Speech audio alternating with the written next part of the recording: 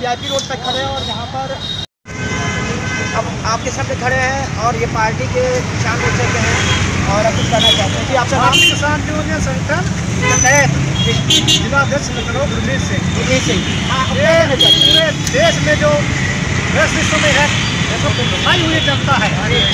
ने बहुत ही इतनी कर दिया है हमारे जवानों को चुपचाप चोरी से शहीद कर दिया वहाँ। भारत के नागरिक चुप नहीं रहना चाहते वही चुप नहीं रहेगा और इसका बदला लेंगे आप और सरकार भी साथ में है भरपूर संघ पूरा साथ में है।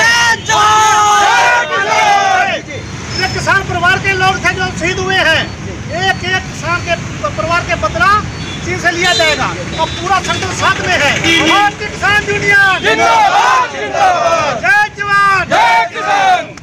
आपका नाम? दिलीप सिंह यादव नगर महामंत्री लखनऊ। हाँ नगर महामंत्री विनीत यादव जी आप ये क्या आप क्या कहना चाहते हैं? सर देखिए जिस तरह से जो चीन की जो पैराना हरकत रही है जिसमें हमारे बीस जवान शहीद हुए हैं ये पूरे देश में आक्रोश है। और ये जो जवान हमारे शहीद हुए तो क्या आज ये आपने जो पुतला जला के यही आप खत्म करेंगे? आगे जाएगा, हमारे भारत की सैनिक है जी, जी। और बहुत ही बड़ा बहुत बड़ा धोखा स्तर पर भारत किसान यूनियन चीन का बहिष्कार करेगी चीन के समानों का बहिष्कार करेगी। और हम लोग आगे आने वाले समय में आप लोग दो दिनों से ऐसा बहिष्कार कर रहे हैं और जगह जगह पुतले जला रहे हैं। आपका नाम? आप क्या बोलेंगे?